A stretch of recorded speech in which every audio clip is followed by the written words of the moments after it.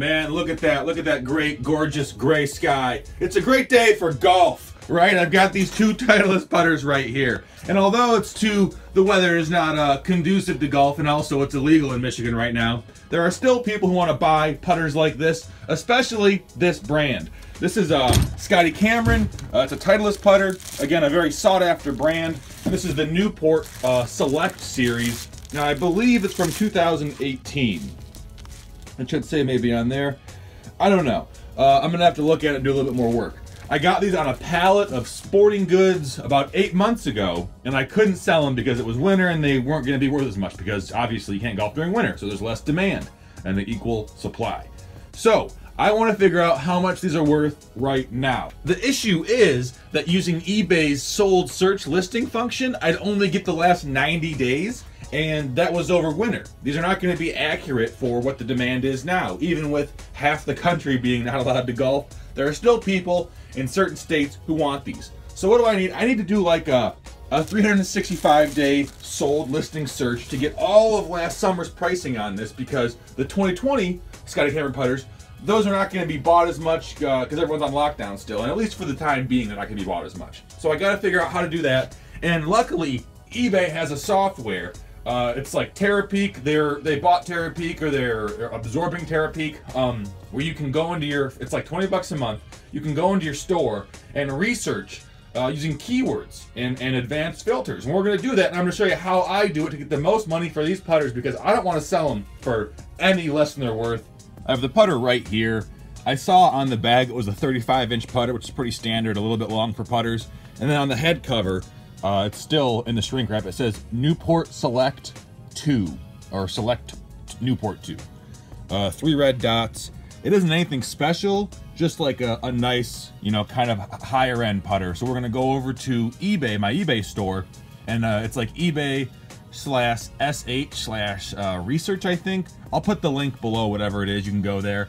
And you can actually have a really easy way to filter through, uh, first of all, things that aren't this putter. So like a different uh, length, a different style, um, a different handedness, and I can easily avoid those. And I can also look to see what like the wholesalers sell theirs for. So the people who have maybe 10 in stock, uh, and I can use, or you know, however many in stock, a thousand in stock, who cares? Um, but the people who are making routine sales, if there are any, it's just a good way to get more information because the more information you have, the better decisions you can make. This is it. It is ebay.com slash sh slash research. And again, it's like 20 bucks a month. If you have a store you can upgrade, there's tons of ways you can do it. I mean, what it comes down to is if you are making two extra sales a month, or you're making an extra 20% on 10 sales a month, that's going to pay for it. So if you're a full-time seller, you should do this. I don't know why it's taken me so long to use this. I haven't really been an eBay guy, but now with things changing, I've been forced to uh, reassess.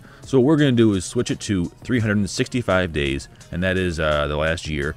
And I'm going to just put in, um, I'm to put in Titleist putter. The reason I'm not doing just last summer is because I want to see how the price has changed over the past year and see if it's trending downward or trending upward because I think it might be trending upward. So yeah, Titleist uh, Newport Select 2 putter, which is the putter I'm not I haven't put in the handedness or the length yet, but I want to see I want to get a basic idea uh, of what I'm looking at. And um, hmm. So definite things are moving, definite sales. Uh, it looks like a lot of these occurred last year, and I'm getting multiple years. I'm getting a custom putter. My putter isn't custom. my putter is not custom.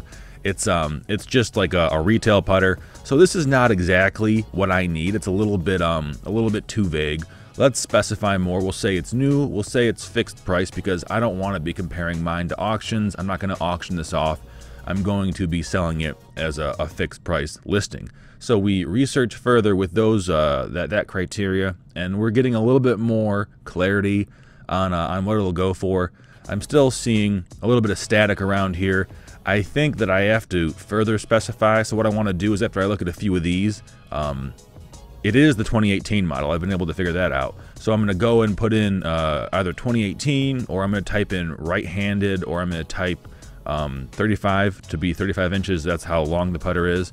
And I think after I do that, I'll have an even more accurate idea of um, of what's going on. But first, I want to see how the whole market's trending. Uh, I want to see if putters, if this Scotty Cameron putter is going up or going down or staying uh, stable. Because, you know, like I said, the 2020 putters are not being bought, I assume, are not being made at the same rate, I assume, uh, just like nothing else is. And so if this 2018 model is picking up some slack because the 2020s aren't out yet, we're actually seeing a trend upward. So I might be able to charge a bit more than the solds are showing. Uh, it depends really how many are sold right now. And so the next step is to further refine our search, add in 2018, add in the handedness, add in um, 35 because it's a 35 inch long putter, and see where we're at then. And after I do that, I'm going to check out uh, how many active there are and how many sold there are because that's like the final layer of this equation is how many are still active and how many have sold recently.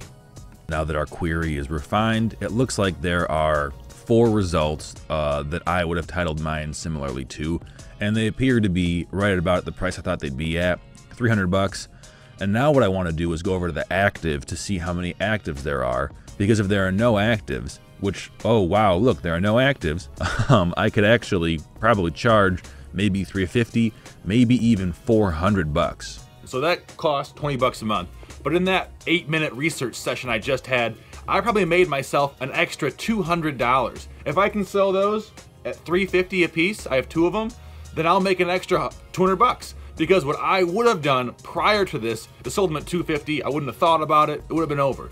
But again, by doing a little bit more research, by having more information, I can make a better decision a more accurate decision, a decision that better reflects the circumstances that I'm in. Hope you guys enjoyed this. Uh, don't be a shithead. And remember, always get more info because that's not going to make your decision worse.